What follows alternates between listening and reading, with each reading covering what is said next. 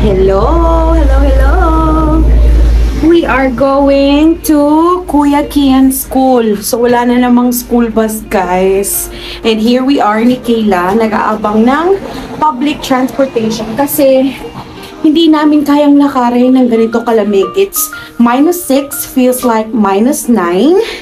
So magbabas kami, tapos maglalakad kami ng 10 minutes para makarating sa school ni Kian. And the bus will arrive at 2.36.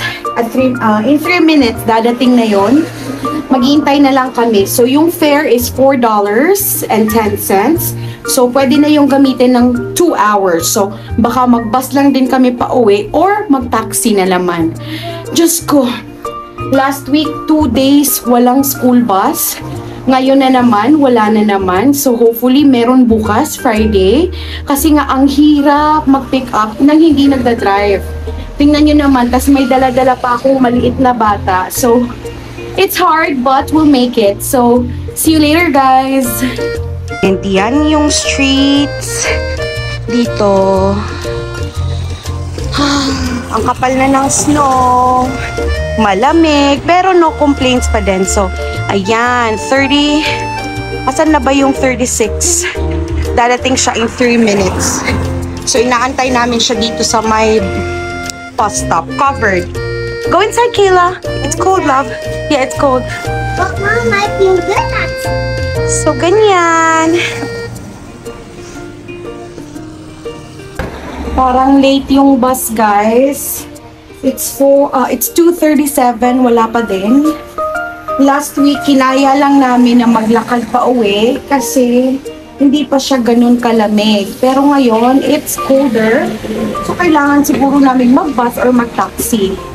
And ito lang yung only bus na uh, dadaan sa sa sa iskinita kung saan kami maglalakad papuntang school ni Kian. So wala kaming choice kahit 10 minute walk pa din, at least makukunan ng 10 minutes, 'di ba? Kasi sasakay ng 10 minutes, 10 minutes na lang yung i-walk. So, ngayon-ngayon lang din nag-message ala parang mga 1:30 nag-message yung school na wala na naman daw school bus ngayong hapon. So, kaya nagbihis kami kaagad para makahabol sa bus. Pero parang walang bus. Nasaan na kaya yun? I love our food. It's so cold. Is it? Do you feel cold? No? You okay? Yeah. Nilalamig ako guys kasi yan lang sinuot ko. Although waterproof naman siya pero tumatagos yung lamig. And it's so cold. Buti na lang walang hangin.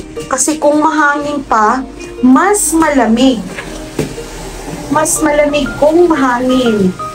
So buti na lang hindi siya mahangin kaya feels like minus 9 lang siya guys. And as you can see, wala pa din yung bus. Mag-aantay lang kami. I just, hey mom, look, I see a mean bus. That looks like Mr. Bean. Mr. Bean! I see Mr. Bean is here. Oh, yeah? Yeah. See you later, guys! Kayla! So, andyan, andyan na yung bus na sasakyan namin, guys. Number 36. Sakay muna kami and we'll see you in a bit. We are already on the bus. Yay! Walang laman yung bus, guys. Maybe because maaga pa. Blue up. What is blue up there in the big window? Uh, I don't know. That's like Alexa. Oh no! We are here. we arrived na. And we're gonna walk for 10 minutes. Did that one. There's smoke? Covered. Oh no. So maglalakad na kami guys for 10 minutes. Eh, ang hirap pa naman maglakad sa kanya uh, pathway. So concentrate muna ako ng paglalakad guys ha. And I'll see you later. Mom, I, what, what did B means it B no. It says no parking. No parking. Yeah, no parking there. Yan yung itsura ng winter. Tingnan niyo. Ang tataas na snow. Medyo malapit na kami guys. Mga 5 minutes walk na lang. Ang puti, ang ganda. It's untouched. Look at that. It's very nice. Um, maybe um footprint here. Huh? It's like a. Look at that. It's so pretty, love. The snow. It's so white. It looks like that. So we're gonna cross now. We made it. Okay, are you okay? Tired? Oh no. I can watch where I'm going. Okay, be careful, Kayla. I think so many garbage blocking our way. We're almost there. So you don't have to be tired. I'm dizzy.